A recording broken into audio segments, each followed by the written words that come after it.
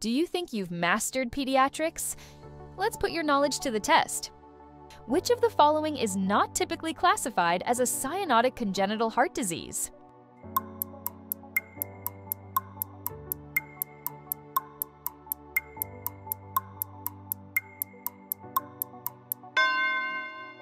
I'm going to close now with a trick which will help you try to remember the types of cyanotic heart disease, and it's easy if you just use your hand. So remember, there are five types, and I remember them like this. One, two, three, four, five. I'll go through them one at a time. One is truncus, and you can see my thumb is a trunk coming off the main mixing of the right and left ventricle. Next is transposition, and you can see I've taken my two great vessels and I've mixed them together. Next is tricuspid atresia. Next is tetralogy of Fallot. And the last one is totally anomalous pulmonary venous return. So that's a good trick to try and remember the five types of cyanotic heart disease.